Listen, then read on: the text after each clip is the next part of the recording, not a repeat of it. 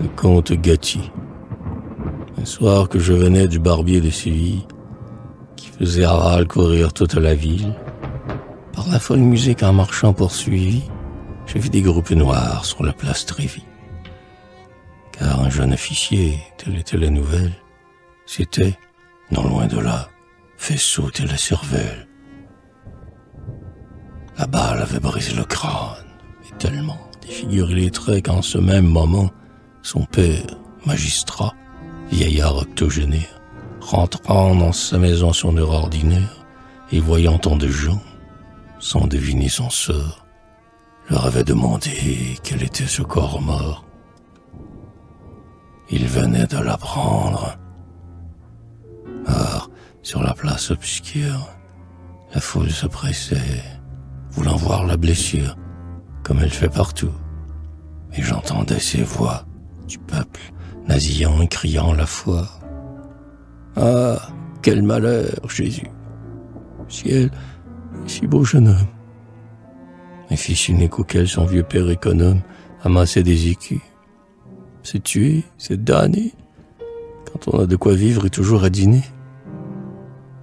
Puis une voix de femme. Quelle horrible affaire. Non, Sor Gaetano, je ne peux pas m'y faire. Moi, qui l'ai par la main promené tout petit dans le temps du français. Ah, qui l'eût jamais dit. C'est moi qui l'ai porté à côté de sa mère. Alors que de l'exil revint notre Saint-Père.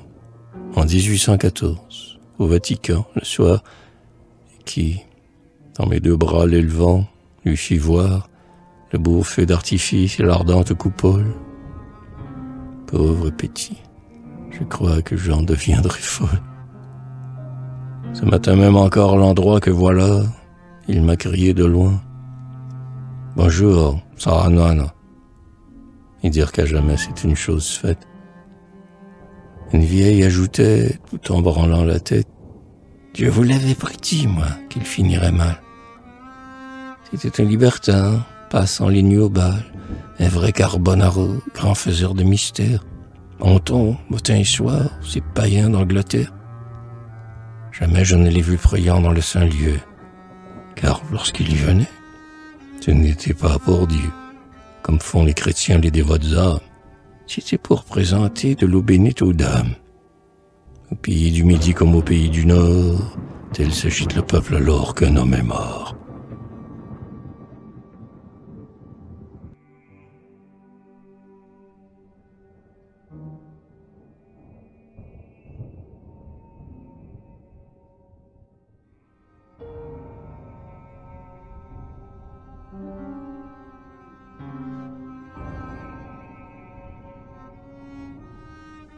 Or, en les écoutant, je m'approchais dans l'ombre d'un moine qui, caché sous son grand manteau sombre et libre en son parler d'hypocrite jargon, causait en s'appuyant sur le bras d'un dragon. C'est Gatti, disait-il, et vous pouvez me croire, car je le connaissais et je sais son histoire. Ce Gatti, donc, était garde noble. Ravi d'amour, il faisait l'œil à la Campinovi coquette du Corso, cette femme si belle, qu'un Anglais, l'an dernier, s'empoisonna pour elle. Se voyant dédaigné, lassé de ses mépris, d'un grand dégoût de vivre, à la fin il fut pris. Il s'est tué. Nous donc, prions Dieu pour son âme. Frère, lui répondis-je, prions pour la femme, pour la femme qui fait qu'à cette heure de nuit, Parmi ces inconnus, au milieu de ce bruit, un père au désespoir dans les vieilles paupières, suivant l'ordre, aurait dû se fermer les premières, tient le corps de son fils entre ses bras tremblants, et dans ce jeune sang trempe ses cheveux blancs. Moine, je te le dis, ah, prions pour la femme.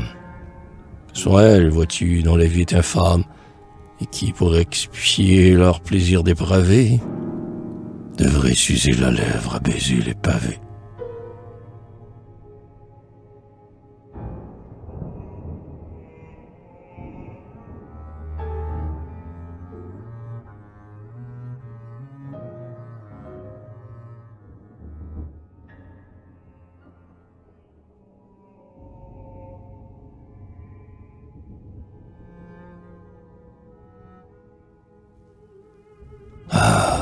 Femme d'Italie. En ce temps, nous sommes, si vous laissez mourir pour vous les jeunes hommes, ce n'est pas chasteté ni devoir. C'est qu'au fond, vous sentez mal au cœur et son amour profond. Ne parlez donc jamais ici de Messaline. Vous avez surpassé la luxure latine.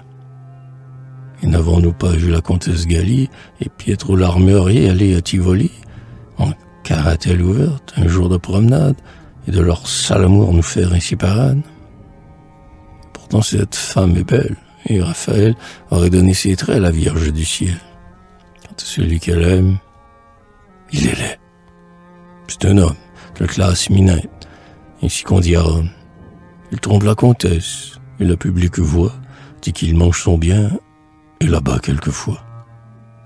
Mais il est fort, or donc, à parler sans scrupule, pour soutenir son bras, la galive Hercule.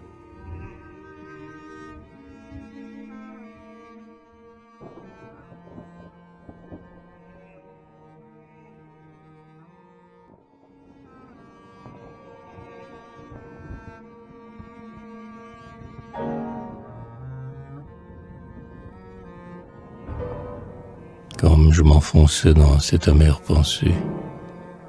Ceux qui parlent du mort allaient se disperser, et je vis à leur place, en relevant la tête, des visages riants et des habits de fête. C'étaient des gens masqués qui s'en allaient au bal, car on était alors au temps du carnaval.